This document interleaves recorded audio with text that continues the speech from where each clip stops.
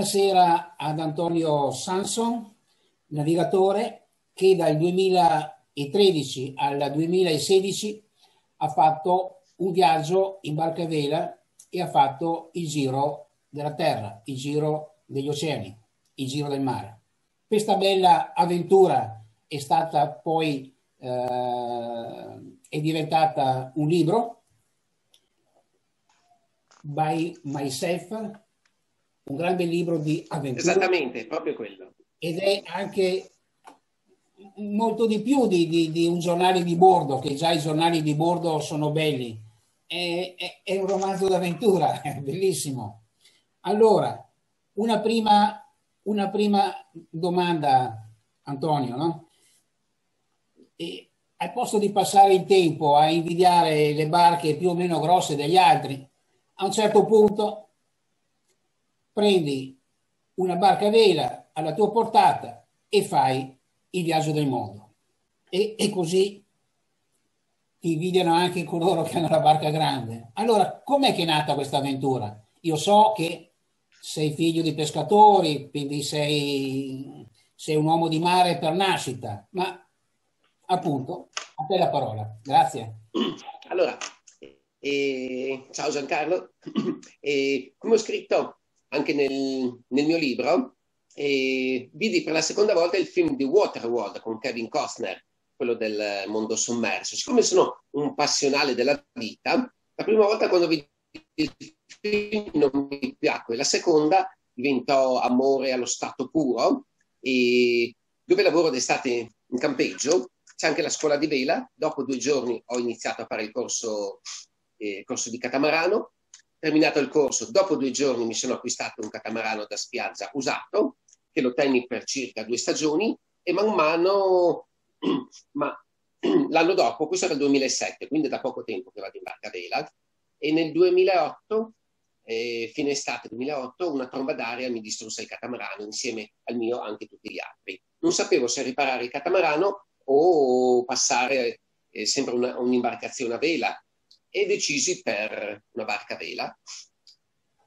E niente, il proprietario barca, di questa barchetta a vela che eh, acquistai nel porticciolo dove lavoro, diventò oltre il mio maestro di vela anche un mio amico.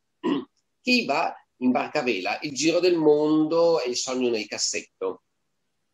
E nel 2012 feci scuola vela oceanica insieme a Giovanni Soldini e Vittorio Malingri e fece la traversata dell'Oceano Atlantico, partito da Gibilterra, Canarie e poi voilà, fino dall'altra parte ai Caraibi, a Guadalupe. E stavo talmente bene che sarei andato avanti fino alla morte. e voilà, questo era il 2000, 2011, pardon. E niente, stanco, stressato di questa società, era andato, era tutto troppo, troppo lavoro, troppo tutto ero andato fuori giri e dovevo trovare una soluzione per, per la mia salute. E pensavo che il giro del mondo potesse, pote, poteva essere una buona soluzione, una buona cura, invece è stata un'eccellente, un'eccellente medicina. Nel 2012 mi acquistai eh, la barca By Myself, una, barca, una barchetta di soli 10 metri, ma ben costruita, una barca oceanica, e nel 2013 partì verso partì per questa straordinaria avventura da dire una cosa molto importante.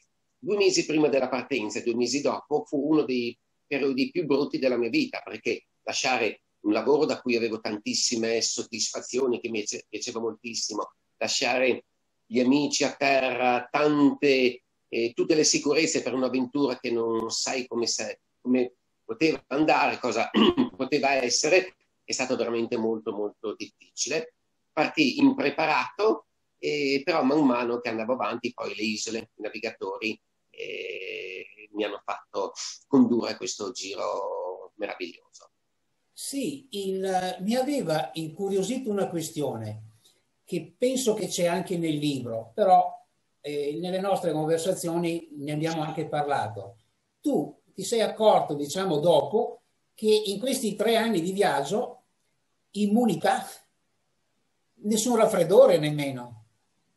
Come è successo? Eh, bravo, Giancarlo. Allora, eh, sono un, un, privilegiato, uno molto, molto fortunato, ma tante cose vengono, vengono da dal carattere, dalla persona, essendo ognuno di noi in questo mondo.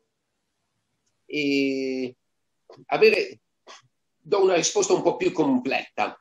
E, e, come dire, sì. Quello che stiamo vivendo io lo chiamo un progresso-regresso. Quello che ho vissuto eh, mi sono accorto che l'essere umano è entrato nella sua dimensione. E, e stavo talmente bene che sì, non ho avuto mai, una, un, mai la tosse, raffreddore, febbre, mal di testa, nulla. Sono sempre stato benissimo, neanche, neanche i brufoli non mi sono venuti fuori.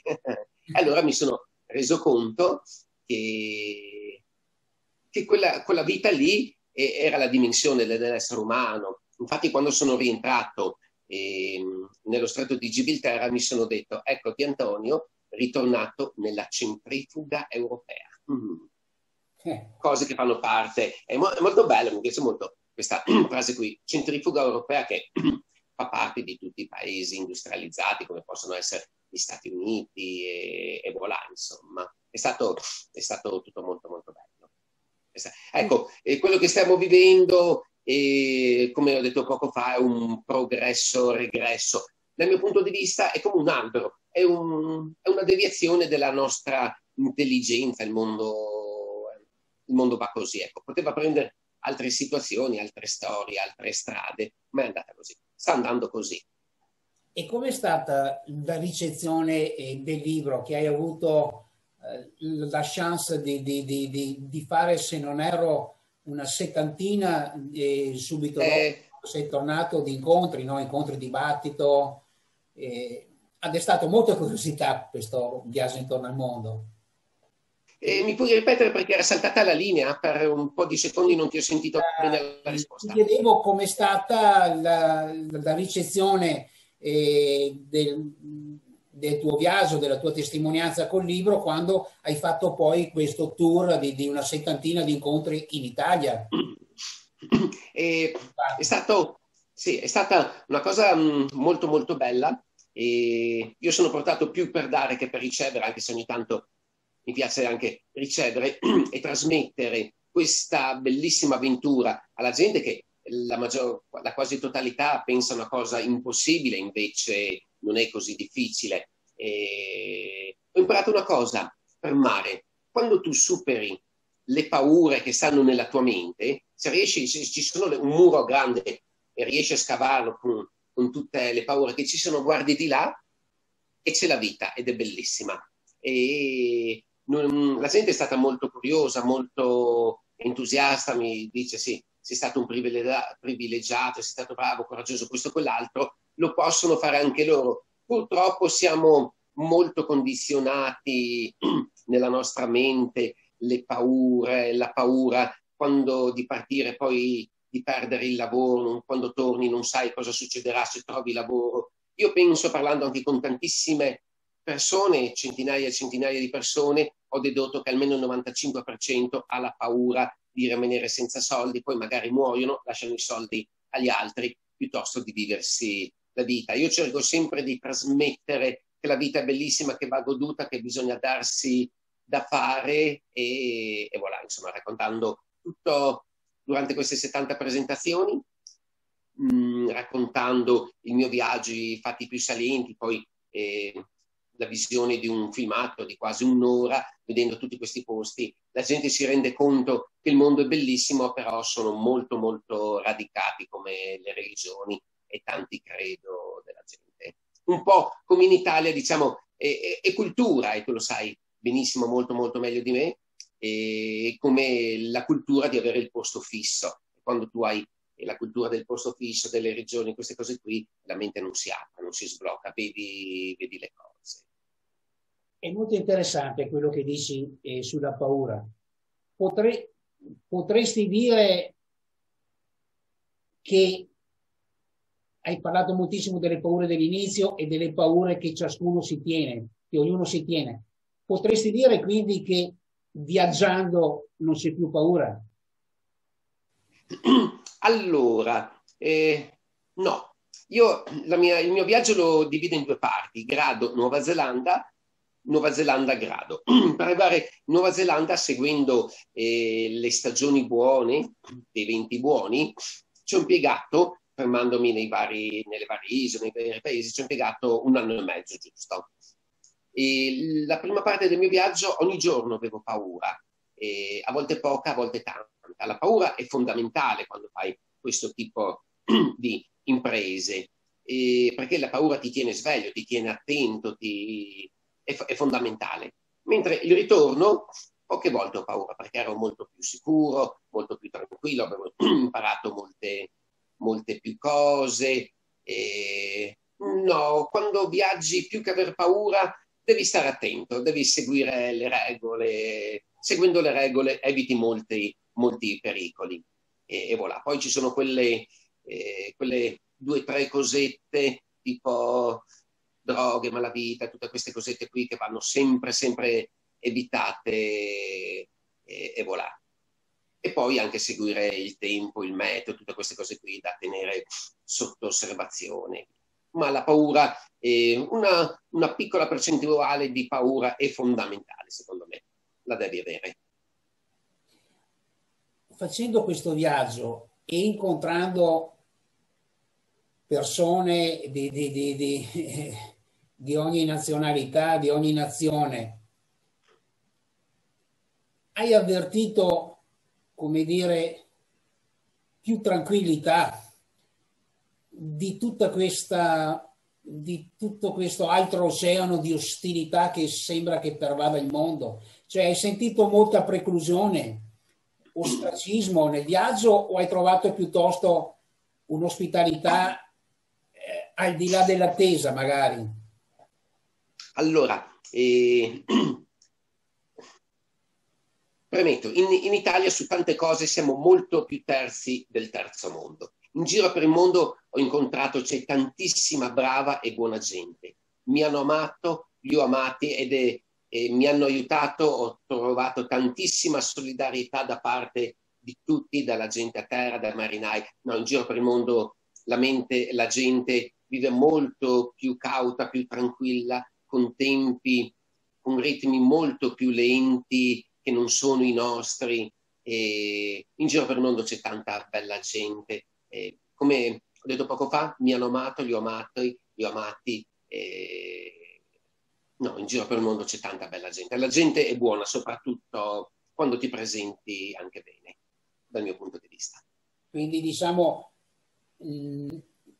la maggior parte non ha messo oh, davanti subito eh, differenze di, di, di, cultura, di religione, di, di, non è questo che si incontra, si incontrano... No, assolutamente no, no, assolutamente. Posso dirlo, gli unici inconvenienti li ho incontrati ai Caraibi perché eh, reputo che in giro per il mondo ci siano diverse categorie di popoli, di persone che soffrono per dei mali che non hanno subito personalmente, ma i loro avi. Per esempio ai Caraibi eh, la maggior parte delle persone sono, sì, Caraibi vengono, sono stati portati dall'Africa, quindi i Caraibi non la reputano la terra loro e soffrono di questa cosa qui quando arriva il bianco, sono piuttosto, piuttosto ostili. Ecco, è l'unica parte del mondo che ho incontrato dove ho, ho, incontrato un po' di ostilità da parte dei locali. Ecco. Ma il resto, in, il resto eh, gli altri popoli, religioni, tutto quanto, no, no, assolutamente. Sono, ho incontrato tantissima gentilezza, cose veramente impensabili, soprattutto in Sud Pacifico, in Polinesia francese, Fiji, Vanuatu. Una delle loro fortune è che sono in pochi, quando si è in pochi tutto diventa più facile. E qual è il programma del futuro? È chiaro che non si tratta di ripetere ciò che si è fatto, però anche, eh, diciamo, oh, guadagnandoti questa esperienza, no? questo bellissimo viaggio, che cosa, che cosa programmi per il futuro?